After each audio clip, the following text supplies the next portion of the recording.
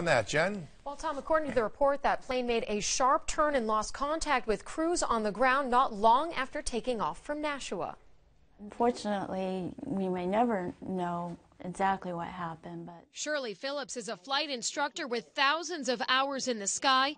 After reading the NTSB's preliminary report on the plane crash in Hooksett last month, which killed both people on board, she says investigators will likely be focusing on the plane's pilot, 83 year old Herman Hassinger of Rhode Island. they don't have any evidence that there was anything wrong with the airplane. I suspect they'll be looking closely at a, a pilot incapacitation issue. News 9 obtained the details of Hassinger's pilot license, which shows that he was medically cleared to fly last year, and his only restriction was that he needed to wear glasses. Pilots over the age of 40 are required to have a physical every two years in order to have their license renewed. So they do the typical things. They look at your vision, your hearing, listen to your heart, um, and those kinds of things.